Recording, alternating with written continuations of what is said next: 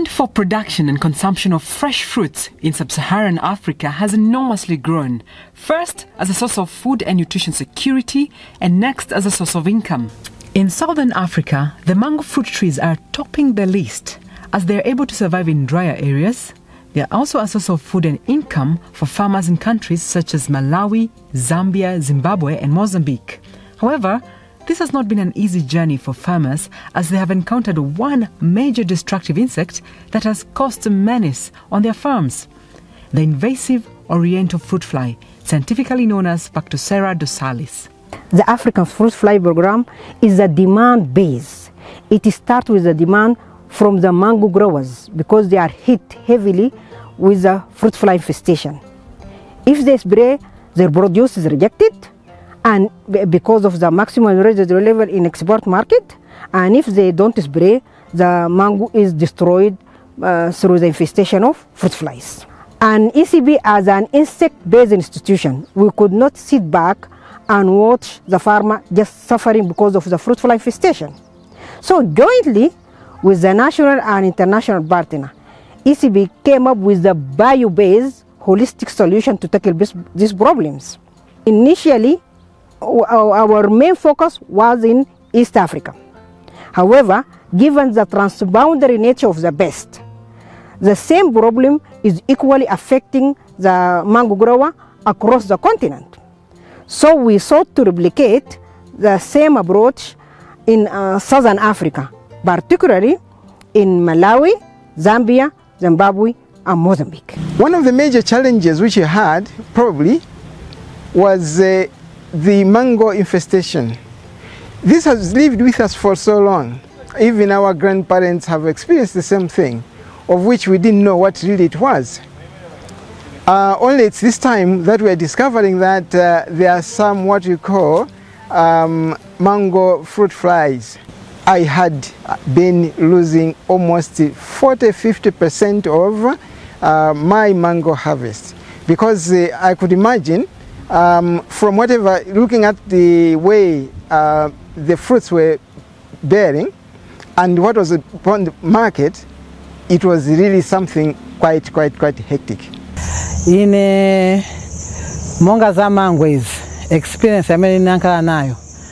Nankhala na mango 10 years. So mkunkhalannkhala muja uh, vakuchilanga uku kapena ni ku, ku makulu. Vanabwera vabwera e, panambo anthu kalibo obwera tenze kuchosa munga kamtengo aka kamene mwaona aka.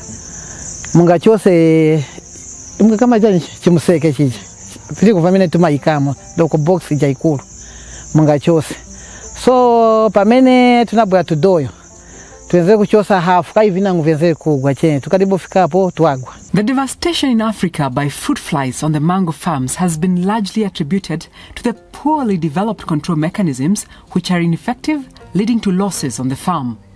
The trickle down effect of these inefficiencies is that it leads to fruit losses and subsequently incomes for the farmers and profits for the value chain actors who depend on the fruit. Uh, I've had these trees, as I said, since 2010. But I've never had the full joy of enjoying mangoes the way I would have liked to, because sometimes they bear quite well. If, assuming that year I've been uh, keen enough to spray the fungicides, I've controlled the fungi on the, on the flowers, they will bear. But then comes the time when the mangoes are ripening. You come in, you pick a mango looking so beautiful outside. You open it, it's black inside and there are maggots inside, you just throw it away. Sometimes out of 10 mangoes, for example, you pluck them from the tree and you only find you can enjoy two or three. So that has been a major disappointment. So I think a year, two years ago, that's when we learned that uh, government is now putting in some effort to try and combat this problem of the uh, fruit fly. One of the things we've been doing, for example, there comes a time when ripe mangoes start falling off the tree. Um, each time we tried to pick them, we found there's something wrong inside there. So we pick those ones and we used to dig a small hole, bury them there, and uh, that tended to help a little. But uh, as you know, by the time you're picking those uh, fallen ones, the others up there may look nice, but maybe they're already infected. The, the challenges that we had before using this uh, is that we used to, uh, we, okay, you know, when you don't know any anything, or maybe you know that this this is a disease, or maybe this is a problem. Now you don't know what to do about it, so you find that it's a very big challenge. You want don't know what to do about it, and then again when you go to the to the shops, those guys they just want to sell their chemicals. They will even sell you a wrong chemical because they want to sell. And then you, for us we, all we want is our fruits to be healthy to be good. And then we want to to have a lot of fruits. So you find that we just get anything. We used to get anything. But this time uh, after i started using this it has really helped us. Tikachoka nawo kumunda bango loboka tigule bango lolimba mango limene laboledwa ni ntchentche timalisiya timatenga lolimba lokhalokha andi kuti mango afike kunoko bwinobwino timapakira m'madengu ngati awawa kuyika m'madishi ndi kutentha akumu mango amakhanga namatenthana safika bwinoyi. Koma kuyika m'madengu ngati amapita mphepo. Timakhoza kugulisa madengu awiri osewa siku limodzi. Mangowo ngati afika bwinobwino komanso mmene timatengera madengumo akakhala kuti sitinaphatikize ndi zinthu zidzake kusanjikiza mango amafika ali bwinobwino koma mistake ukaphatikiza madengu madengu namafika ataonongeka komanso ukayika pa dzuwa chonchi amafuna kwavinikira kuti asalowe dzuwa kwambiri eya Before I received the training for the um, research, I was just doing, actually, as a local one. I was not controlling it with anything. Yeah, I was just harvesting, but those uh, these hybrids, I was not selling uh, any uh, quality prices, cause others were just falling down. Yeah, but and I was not knowing what was made, how uh, it is, why it is uh, falling down. I was just uh, uh, reaving. Well, these uh, local ones, they are better in uh, fruit fries. I was selling differ with these ones. To combat this menace, the International Center for Insect Physiology and Ecology, ICIPE, in 2019 launched a project dubbed Alien Invasive Fruit Flies in Southern Africa, implementation of a sustainable integrated pest management program being implemented to aid in reducing and fighting the invasive fruit fly. The project targeted to reach over 4,000 farmers. It was funded by the International Development Research Centre IDRC of Canada and the Australian Centre for International Agricultural Research ICAM. To ensure that the project is a success, ICIPE partnered with Southern African organizations that include Department of Agriculture Research Services in Malawi, Eduardo Mondlane University in Mozambique, Zambia Agricultural Research Institute in Zambia, and the Department of Research and Specialized Services from Zimbabwe. This project started in 2019 here in Malawi. Initially, it was based, it was uh, to be implemented at Salima and uh, Ncheu, but because of some other challenges, it was shifted from Salima to lirongwe So we have uh, Ncheu as a project site and, uh, and Lirongwe Lilongwe as project site. The goal of this project was uh, to enhance nutrition and uh, socioeconomic and uh, food security of uh, uh, farmers, especially the youth, the women, yeah, so that they can improve on their uh, well-being status. The goal in terms of fruit fly management was to uh, give them to uh, to empower them to do some research or to be uh, to be brought forward so that we can research together so that we can control these uh, invasive fruit flies. Before we had received this, the mangoes we had uh, fruit fly uh, uh, infestation. We had plenty of them. But after we received this, we had seen the reduction and the suppression of these fruit flies. As a result, we are seeing to it that we have proper mangoes and even you can even enjoy to eat these mangoes and even these our my farmers they are even able to go and sell and at a good price Under the project, Integrated pest management techniques that include baiting techniques, male annihilation, biopesticide application, orchard sanitation, use of augmentorium, and parasitoid release that have been tried and tested in different farmer regions such as Lilongwe and Ncheu in Malawi. Rufunsa and Chilanga in Zambia have been packaged for farmers. The first time we instated the, the traps, the insects were uh, they were full somewhere here. Yes. Then again, we we, we, we we inserted the second time. There were just a few. Now uh, you can even see now that they are just a few. This one is uh, six months old. Yeah, but you even see that the the, the fries are few. Uh, we started this here in Chilanga, here in Kachenjela, and um, we've got now other farmers, even as far as uh, um, Shimabala, uh, away from Chilanga because they have seen that this thing is working. So you find that when they when they come, maybe they are visiting. Where did you get this? Then they give me they give they give them my number.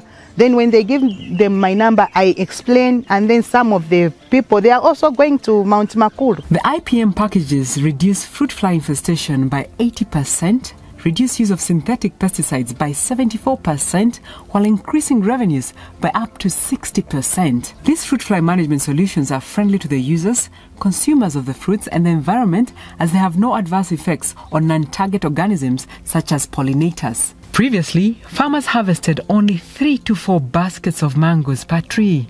Introduction and adoption of IPM technologies has brought about increased yields.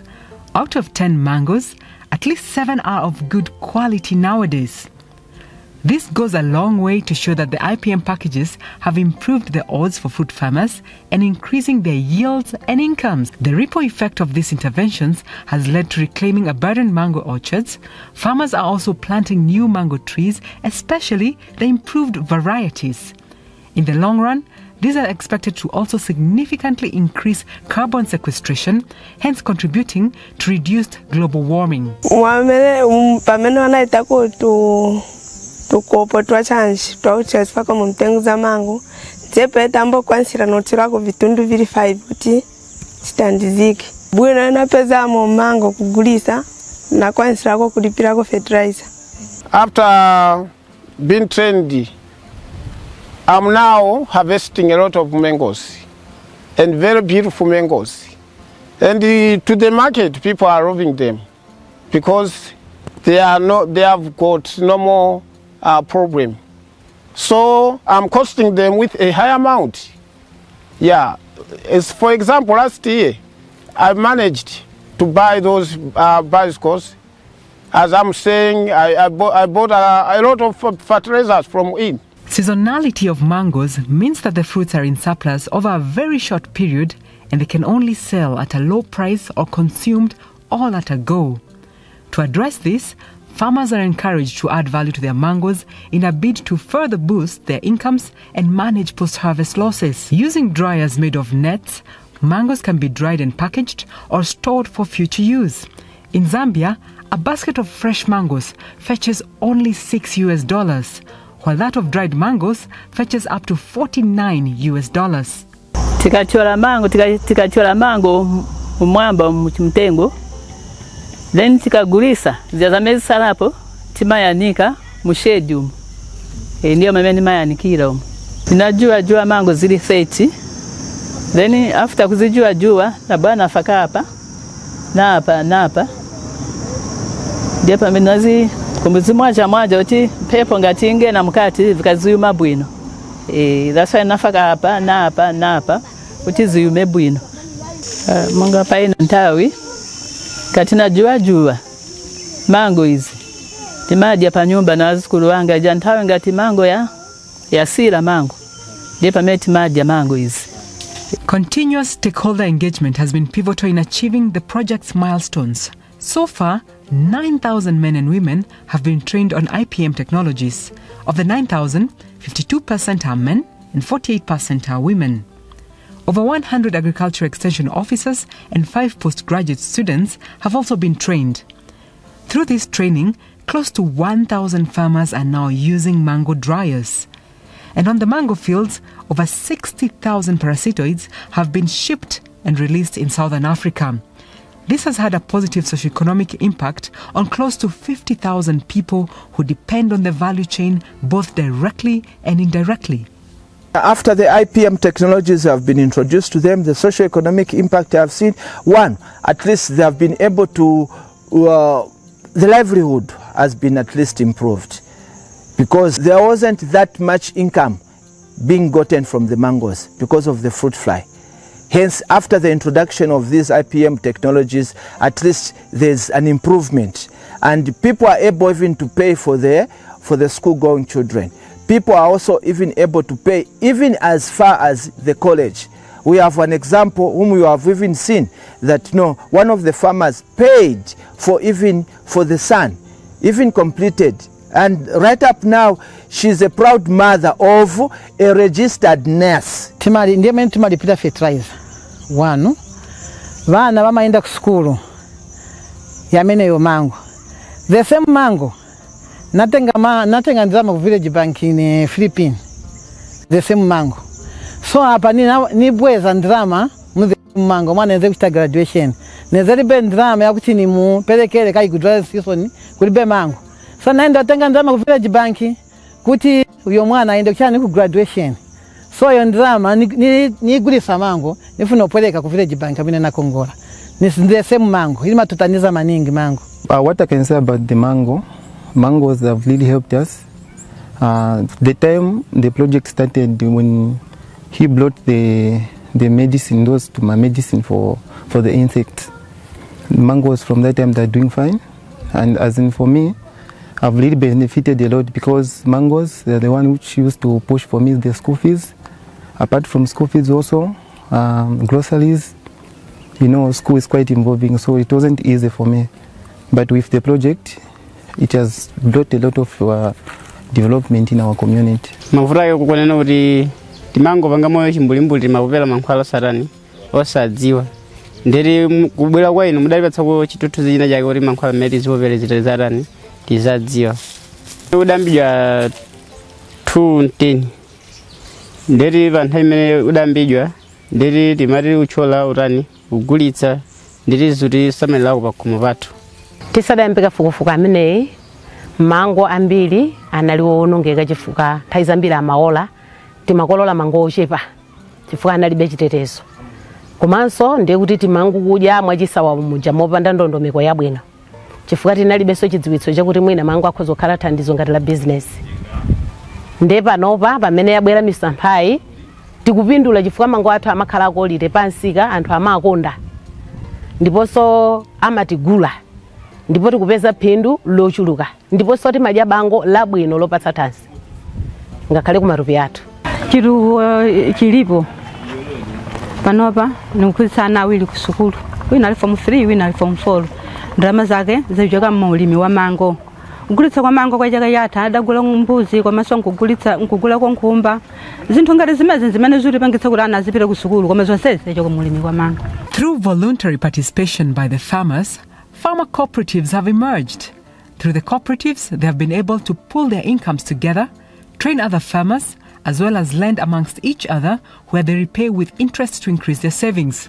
In Zimbabwe, 842 farmers have been trained on mango drying, while in Zambia, 28 farmers were trained on how to make inexpensive dryers. A good example in Malawi is Chikondi Mango Farmers Group, which started with only 10 women and has managed to recruit men and youth into investing in mango value chain as a business. anzathu otizungulira amene akusilira pologalamu imeneyi ndipo kulakalaka kwa gulu lathu nkuti chitawafikira iwo kuti sopa menefe ifeyo tafika chifuka chifukwa iwo iwowo ali kutikhumbira mmene ife tidyera mango kuno abwino mmene tikugulitsira mmene tikupangira ndalama malangizo anga akuti anthu ameneyo auchedwa fwa mwina adakakhala mgulu ngati limeneli akadamapindula chifukwa adamagulitsa mango awo nkumagula zinthu zoti zowathandiza pakhomo pawo. Women empowerment has been integral during implementation of this project. By promoting women, they're now able to see their value and they have power to make choices for themselves and families without feeling inferior. Through these engagements, access to information that allows them to be members of essential groups that focus on the value chain has been made easier.